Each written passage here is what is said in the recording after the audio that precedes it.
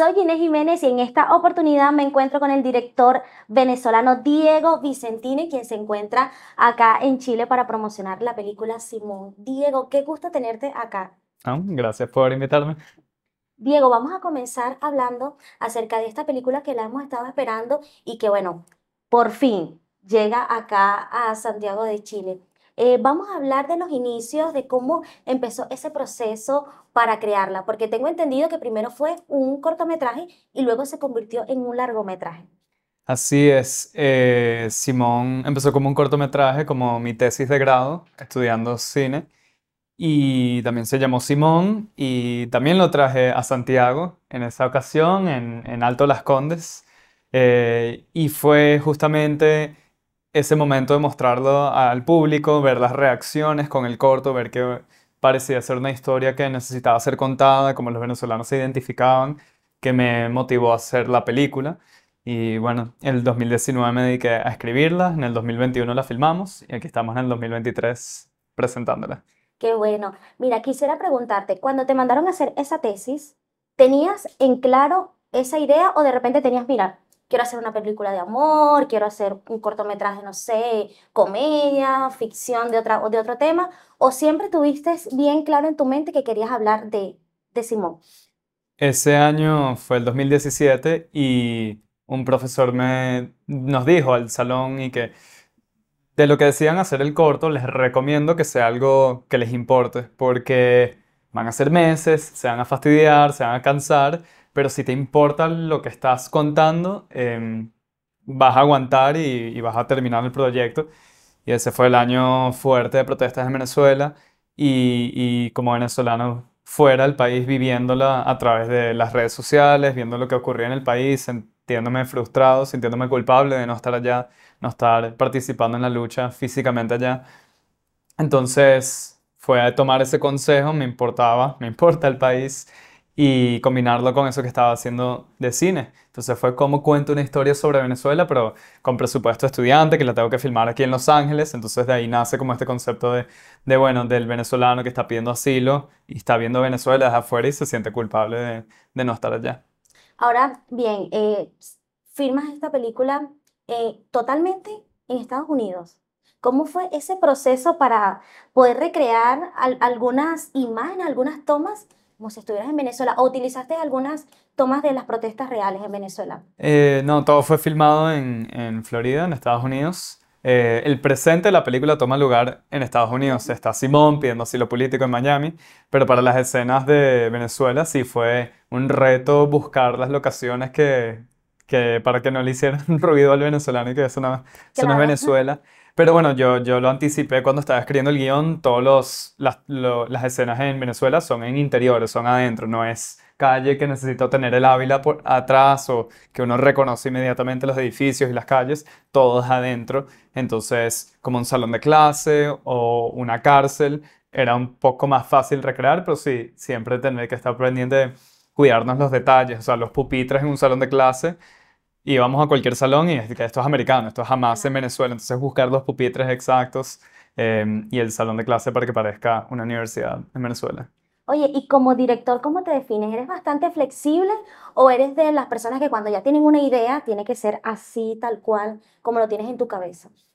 Creo que la mejor combinación es ser un poco de ambas, o sea, tener un plan muy preciso, tanto a nivel actoral, del plan que ya tienes con los actores, con, con las tomas, y después estar abierto en set a, la espontaneidad, a ser flexible, pero cuando ya tienes un plan fijo, es en ese campo te permite ser creativo y explorar las opciones que te salen en el set. Bueno, tan sencillo como que te llueve, tienes que cambiar, o, o, el actor hace algo distinto, pero, pero que ya tienes un enfoque en lo que necesitas de esta escena. Entonces, eso te permite la libertad de ya saber qué es lo que necesitas y si lo hace distinto, pero cumple la misma función, estás abierto a eso en vez de hacer exactamente lo que ya tenías en mente, que a veces eso es lo más mágico de, de cuando ya estás filmando, porque en la preproducción ya tienes la película hecha en tu mente pero estás abierto a cuando ocurren estos momentos mágicos a nivel actoral o a nivel de iluminación.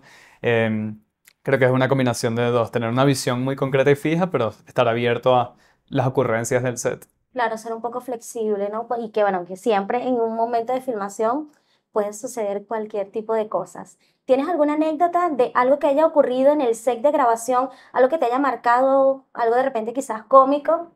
cómico. No era cómico el que tenía en mente, porque hubo en el día 18, creo que fue de 30 días de rodaje, un poquito más de la mitad, em, pero es como el clímax emocional de la película.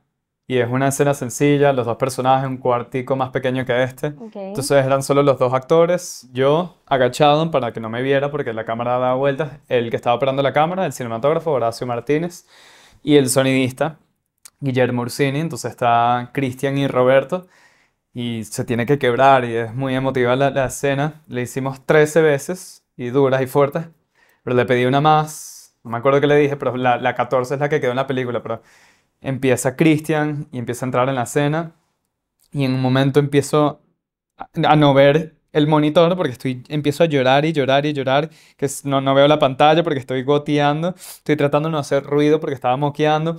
Después Horacio me contó, él, él ya no veía la toma porque está- no podía parar de llorar, estaba temblando para, eh, co- con, la cámara. Y normalmente cuando no hice corte, bueno, eh, llegan los maquillajes, resetear, eh, cambiar algo. Esa vez, la número 14, dije corte y todo el mundo entendió automáticamente de no entrar al cuarto rápido. Nos dieron dos minutos, nos trajeron así pañuelos para limpiarnos y cuando salgo de ese cuartico, veo las 45 personas del equipo técnico, todas llorando, todas limpiándose. Y tanto que tuvimos que parar la producción por como 15, 20 minutos, que la gente saliera a respirar, se metieron al baño a, a llorar más. eh, fue súper emotivo.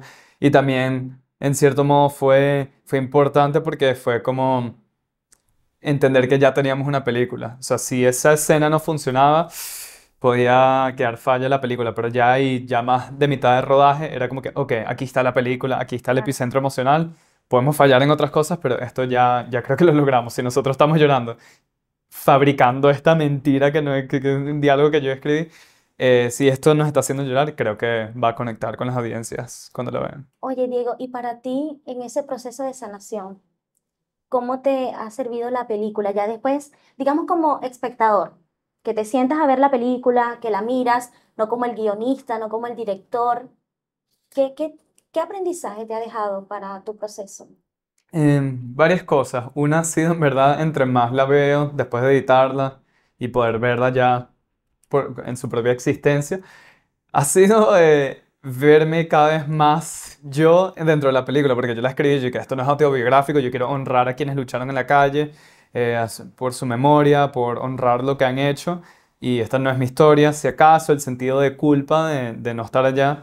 Pero sí, cada vez que he visto la película más veo más cosas de mí, como el lo que a mí más me frustra es el sentido de injusticia que no, que nos ha hecho y, y ahora ver la- las cosas que se me iban filtrando inconscientemente en Simón, que ese creo que es lo que más también lo mueve a él, ese sentido de culpa. Este, sí, y, y también para mis próximos proyectos a- haber visto que si algo lo escribes de verdad un lugar de autenticidad o algo que en verdad te, te, mueve a ti, es muy probable que conecte con los demás, porque todos somos humanos, la infraestructura psicológica es la misma en todos nosotros, entonces si, si uno hace algo que de verdad te hace sentir, es muy probable que, que haga al, otro sentir, entonces me lo llevo para mis próximos proyectos, de verdad buscar algo que sea sincero y honesto.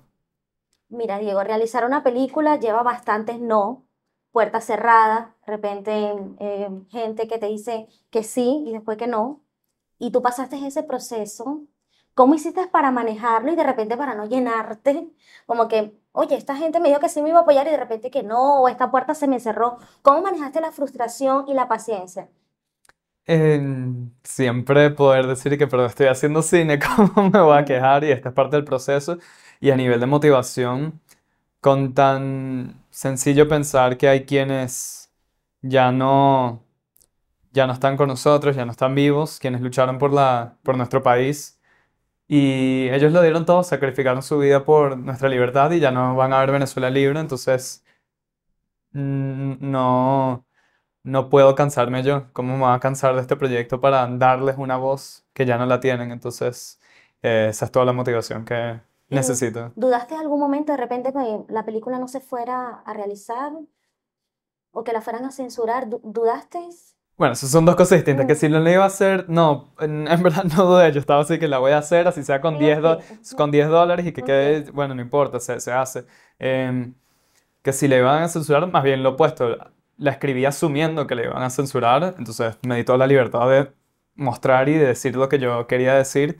Eh, sí ha sido una sorpresa que no la hayan censurado, pero bueno, hicimos todos los procesos debidos, sacarle la nacionalidad, le pusieron que si podemos estar en violación de la ley contra el odio, dos días antes que si una denuncia en la fiscalía, que si estamos incitando a la violencia, pero, pero hasta ahora igual sigue en cartelera y yo contento de que el mensaje llegue a todo el país.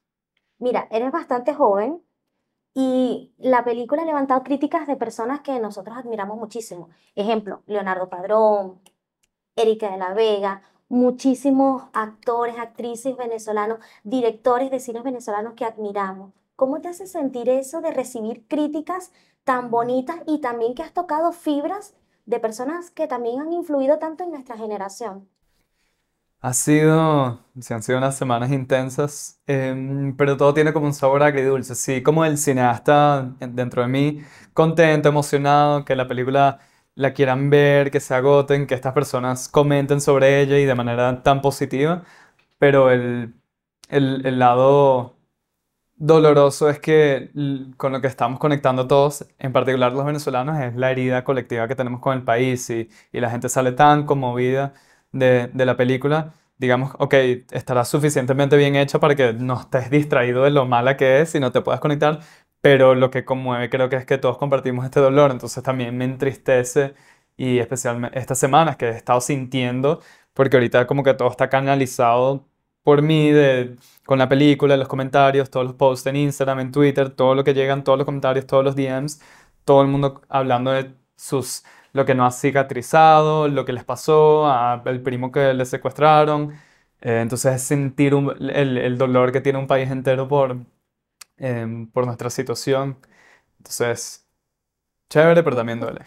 Sí, me imagino, como un sabor agridulce por así decirlo. Mira, también he visto muchísima gente comentando por Twitter, por Instagram, de esos mensajes que te han llegado, ¿hay alguno que de repente se te haya quedado más marcado en, en tu mente?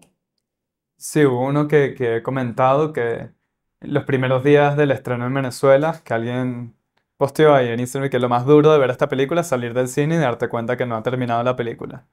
Se fue como que... Ese, ese me quedó. ¿Y piensas hacer una continuación de Simón? Ojalá no haga falta. Ojalá ya salgamos de esto. Diego, ha sido un gusto poder conversar contigo. De verdad que te deseo lo mejor, igual lo mejor para la película. Esperamos que por favor haya otra función y muchísimas funciones acá en Santiago, porque muchos nos quedamos por fuera de ver la película. Em, y bueno, sé que también igual en Argentina, en Lima, en Panamá, en Miami. Bueno, la gente en Miami tiene la oportunidad ahorita bastante de, de verla, así que aprovechen, aprovechen lo que están ahí en Miami. Tu mensaje final para las personas que van a ver la película, para los que la vamos a rentar próximamente, eh, ¿qué mensaje quiere que, que tengamos al finalizar la película? Ha sido interesante ver la reacción de las personas, eh, cómo interpretan el final o, o la historia en sí. Hay gente que sale esperanzadora, hay gente que sale muy derrotada. Em, y se estado diciendo mucho que si, que si no la han censurado porque es, eh, al, régimen le, conviene recordarnos que, han ganado, que nos han derrotado. Y eso, o sea, no, no soy pro de que el director explicando su película, explicando el final, pero sí creo que la película puede ser una invitación y que nos demos cuenta, quien la vea, qué dice de ti, de cómo te tomas el final, si es derrotador o esperanzador. Yo personalmente, y aparte de la película en mi vida, yo jamás he perdido esperanza con, con el país. Y si, si hay un momento de derrota, es solo momentario, o sea, la, la historia es cíclica, todos los países pasan por momentos oscuros y por sus buenos momentos. Es cuestión de tiempo, siempre cambian las cosas, lo que uno quiere es que ocurra ahorita, yo quiero vivir ese cambio. Entonces, que sea una invitación, la película de reflexión, a ver si, si uno está dispuesto a aceptar una derrota. Eh, yo no. Qué lindo. Así que bueno, nos quedamos con ese mensaje. No vamos a aceptar una derrota. Queremos darle los agradecimientos a las personas que hicieron posible esta entrevista, a nuestros amigos de David and Joseph, por supuesto, eh, la locación Hat Providencia, Máximo Project Studio por todo el set y a nuestra fotógrafa Grely Gómez. Por supuesto, a todo el equipo de producción de tu contenido. Así que bueno, muchísimas gracias. Soy Inés Jiménez y nos vemos en la próxima.